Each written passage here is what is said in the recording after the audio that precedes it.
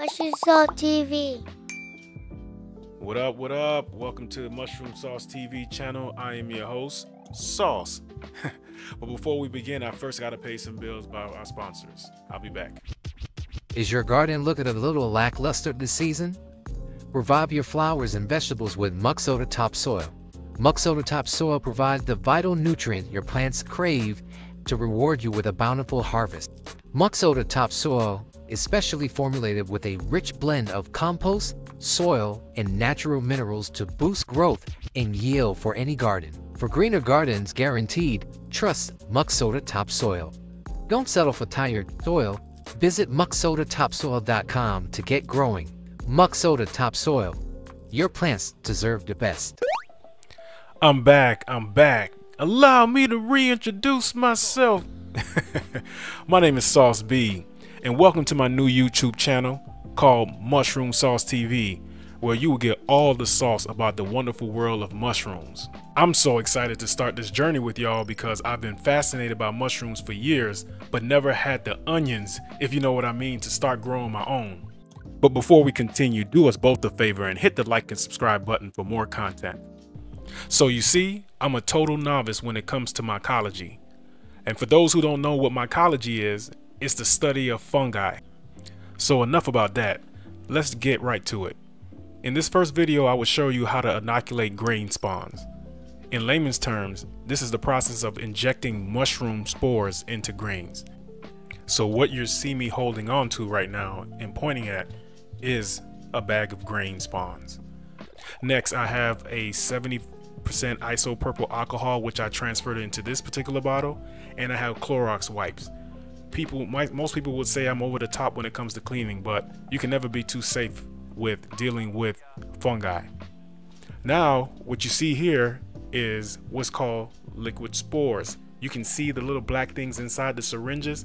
That is actual mushroom spores. So when mushrooms uh, mature, they drop what's called spores, kind of like seeds. It's real cool. Also, what you see me holding on to is the needle that you would pretty much put onto that syringe right there to inject the bag you see behind my hand there. Um, obviously, I now picked up the roll of paper towel, marker, and of course the infamous OJ gloves. I kid, I kid. Uh, but as you see, I'm putting on the gloves and, and I'm having a little trouble putting it on. Um, so I guess you know what they say. If it don't fit, you must have quit.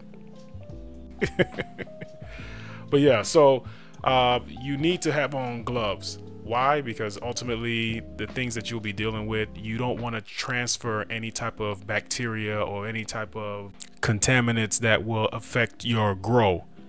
Um, people are very worried about contamination when it comes to growing mushrooms, as you should. So as you can see, even with the gloves on, I'm spraying my hands with the 70% isopropyl alcohol. And now the reason why I use 70% isopropyl alcohol is because 70% isopropyl alcohol stays on surfaces longer and it kills whatever bacteria or any type of germs on the surface, right? So also in addition to that, I got the Clorox wipes. Why? Because it says on the she says, it says on the bottle that it kills 99% of germs. And the number one killer of mushroom growth is bacteria and any type of contamination. So when I say I wipe down everything, I wipe down every single thing. What you did not see is that I also wipe down the walls behind there. And I'm and the location in which I'm using this table or this drawer rather is inside of a closet. So some might ask, why are you doing it inside of a closet? Well, it's because ultimately I want to get away from all the foot traffic in my household, people breathing, ventilation from the uh, heater or AC vent blowing onto my area in which I'm trying to keep sterile. Because the most important thing about growing mushrooms is that your area, everything that you touch is sterile. You need to clean everything. What you guys did not see is I cleaned the black walls prior to this. Um, so now, like I said, I wiped down the table with um, Clorox wipes. Now I've sprayed the 70% isopropyl alcohol to double back on it. You can never, ever, ever be too clean in this process. Also, my main objectives of these videos is to show you how to grow mushrooms from cradle to grave economically, which I'm doing myself. So, as you can see, that is a five pound grain spawn, which I did myself. And the reason why I decided to do it myself is because I believe that in order for me to learn effectively, I need to be more hands on. Now, you can go out and buy um, grain spawn bags that's already done for you, and it'll probably be easier for you to do that because what it takes to make the grain spawns, you got to have certain equipment to be able to make it work. So, um, as you can see, I'm wiping it down with 70% uh, isopropyl alcohol all over the bag. I again, you can never be too clean dealing with mushrooms. So you want to try to wipe down everything underneath the bag, on top of the bag, alongside the bag, alongside the uh, the injection port. You want to do everything to make sure there's nothing that can there's no entry points into the grains because a lot of times you'll inject the the liquid spores or culture into the bag and then few days later or when you start to colonize meaning that the spores start to work through this uh, through the grains you'll see contamination and that's not what you want. So like I said you can never be too clean dealing with mushrooms. Whoa would you look at that? Look who decided to join the party. Ladies and gentlemen, I'd like to introduce you to liquid spores. Um, the black things you see inside there, those are called spores. That is released by mushrooms that are fully matured and ready to be harvested. And unlike their other produce counterparts, they don't have seeds, they have spores. So now you see me previously shaking the syringe pretty hard, right? And the reason why I'm doing that is because I'm breaking down the spores so that when I in when I inoculate the grains or for lack of a better term impregnate the grains uh, it would be easier to get it through the syringe through the needle into the grains. And as you see there I have the needle which typically comes sterilized because it's already sealed uh, from the manufacturer. So a lot of people there's been debates about the fact that uh, whether or not you should go ahead and flame sterilize sterilize the needles or just take just put it in there as is now i know i know i know. I said in the beginning you can never be too clean.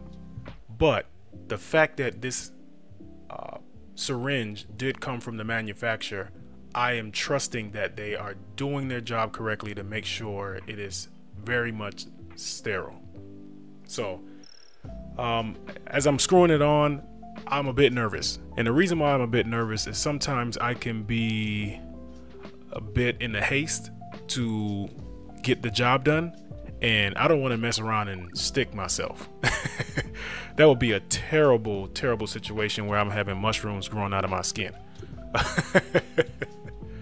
but I'm trying to be as careful as I possibly can.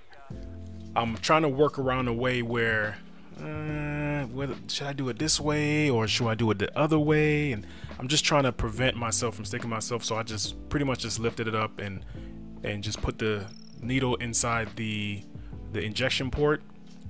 By the way, that is self-sealant injection port. So I don't need to put um, a micropore tape over the injection port. Um, you can if you want to. A lot of people do, but from based on my research, you don't need to. So I'm injecting about uh, three cc's inside the bag because this is a rather big bag of grain spawns, and so now she's pregnant.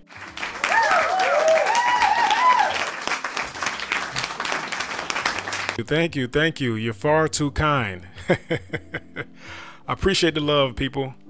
Uh, no, but on a serious note, um, this is it for the process, ladies and gentlemen, of inoculating a grain spawn with liquid spores. Now that the job is done, the only thing I have left to do is label the grain spawn bag. And how I typically label the grain spawn bag is I put two things, the date and the strain of mushrooms that I'm growing. And that's it. Oh, but before before I forget, the next step you want to put the inoculated grain spawns somewhere away from kids in a preferably in a dark, cool area, somewhere the temperature is between 60 to 70 degrees. And don't go checking on it every single day. Let it marinate for about two weeks before you check it. And a quick shout out to the Eluzai for this phenomenal lo-fi beat. I appreciate it, brother. Until next time, fellas and ladies, I love you. Peace.